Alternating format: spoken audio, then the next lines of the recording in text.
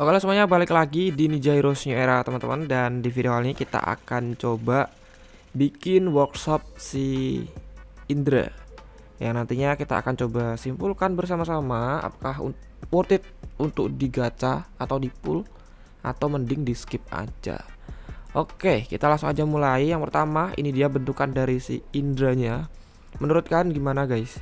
Menurutku ya udah seperti inilah Indra ya guys ya untuk cakranya dia ini listrik jelas ya guys ya. Terus cukup kuat kalau ngelawan cakra yang tipenya tanah atau cakranya tanah di counter sama cakra angin. Cakra angin udah banyak tanah pun juga banyak sebenarnya. Cuman untuk meta yang sekarang kayaknya lebih dipakai angin sih guys ya.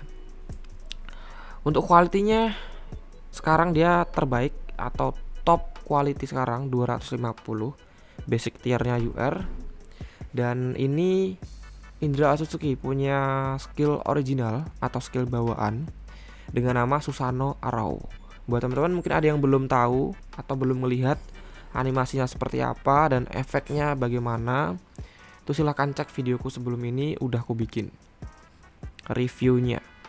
Untuk sekilas seperti ini, cakranya lightning, terus damage-nya 400%. Sebenarnya ini damage-nya nggak tinggi banget ya, karena ini emang ada efek lain yaitu ada efek silence guys kalian bisa baca di bagian skill effect di situ ada tulisan making enemies unable to use their skill for one round. Jadi ada kesempatan satu round untuk nge-launch the buff silence. Terus ini tipenya skill when player attack progresnya 20% terus untuk skill ini bisa launch dua kali per battle. Mantap juga lanjut ada atribut Nah, atribut ini yang menurutku cukup menarik ya guys ya. Dari attack-nya 283, ini normal-normalnya ninja yang lain lah ya, di angka 28 sekian itu udah normal. Defense-nya juga sama 287. HP-nya juga 2838. Di bagian agility-nya coy, dia tinggi banget seriusan. Agility-nya ini ada 294. Ini top agility sekarang coy. Sebelumnya itu CNL, CNL itu 292 Menma 290 dan si Indra ini 294 boy. Mantap ya makin cepet dia launch atau um, first attack duluan kalau kalian build all in ke Indra. Seperti itu. Tapi balik lagi ya nyarinya ini masih susah. Jadi untuk di awal-awal ini emang rada susah sih. Tapi untuk ke depannya kalau udah masuk di gacapul ya hoki-hokian sih. Lanjut kita masuk ke pembahasan skill untuk ninjutsu skillnya ini udah paling meta lah ya menurutku. Ada CS di combo sama double bomb plus ada double DOT juga. Ini kalau kalian menang speed jelas kemungkinan besar menang di ninja pertama gede banget guys. Kalau ninja lawan itu nggak ada uh, skill apa ya heal atau enggak revive. Izanagi. Itu mungkin gede banget chance kalian menang di ninja pertama alternatif lain kalau kalian belum punya kalian boleh aja pakaiin skill-skill tipe damage itu boleh juga. Kalau kalian nggak punya skill listrik yang cocok kalau kulihat skill listrik kan baru ada si Indra ini skillnya ya. Kalian pakaiin aja skill-skill tanah itu juga menurutku oke okay lah not bad lah. Asal bukan skill angin ya. Kalau skill angin harusnya ada tanda panah ke bawah guys. Tapi kalau ada skill listrik eh sorry skill tanah itu aman-aman aja harusnya ya paling enggak enggak tanda panah ke bawah aja lah. Kalau pun normal itu menurutku wajar sih. Karena emang baru ada dia satu doang skillnya yang cocok ya guys ya. Terus bisa kalian combo juga sama skill-skill um, meta lain. Contohnya kayak metanya si siapa namanya? Senrigan itu bisa immortal selama tiga round. Terus kalian bisa combo sama stun juga. Kalau emang kalian udah pede sama damage kalian dan yang lain-lain sih cukup udah banyak sih variasinya. Uh, meta di game ini jadi ya not bad banget lah. Lanjut lagi ada skill TB sama summon. Untuk TB ini aku rekomendasikan dua sih dua skill ini ya. Ini dua skill top damage di cakra listrik. Mungkin ada yang komen tuh kan ada skill ekor dua bang. Apakah itu nggak worth it? Bukan berarti ekor 2 itu nggak worth it ya. Ekor 2 itu tetap worth it ya. Yang UR loh ya. Yang top tier. Tetap worth it ya. Cuman dia kan ada cakra listrik ada cakra anginnya gitu. Kalau kita ngomong worth it worth itan ya lebih worth it kedua skill yang ku show ini guys. Jadi kayak gitu ya. Ya itu beda fungsi sih. Kalau kalian emang butuh support DOT di TB ya pakailah skill TB ekor 2 untuk saman kayaknya no debat sih. Ini dua skill yang menurutku cukup worth it. Ada buntar rampage sama ada buntar combo shoot. Kayak gitu. Lanjut ke pembahasan yang terakhir. Itu ada kesimpulanku sih.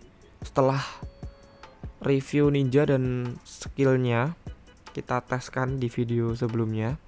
Ini kesimpulanku. Yang pertama kualitinya Indra ini tertinggi ya guys ya jelas karena dia ninja baru yang baru aja di update tanggal 20 sekarang um, yaitu 250 ya terus untuk yang kedua dia ini adalah ninja dengan basic statistik agility tertinggi saat ini. Seperti tadi di awal yang kubahas juga, 294 itu tinggi banget.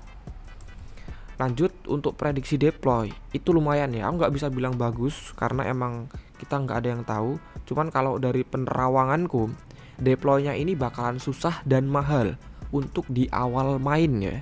Tapi kalau kalian udah uh, mendekati pertengahan game atau bahkan late game, end game akun kalian udah jadi kemungkinan kalian udah ada dapat ninja-ninja pasangan deploynya kayak contohnya Asura Hagurumu kalian tahu sendiri Hagurumu itu koneksi deploynya cukup banyak ya ada Kaguya ada Hamura juga dan yang lain-lain coy jadi nggak ada salahnya kalian build juga sih Indra Atsuki ini guys tapi balik lagi kalau di awal emang bener susah guys Lanjut untuk skill UR cakra listrik pertama. Jelas ya karena sebelum-sebelumnya itu nggak ada.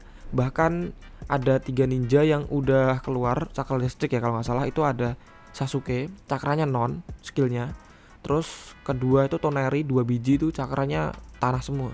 Tapi ya seperti di awal yang aku bilang tanah itu bukan berarti jelek ya kalau dipakein ke cakar listrik.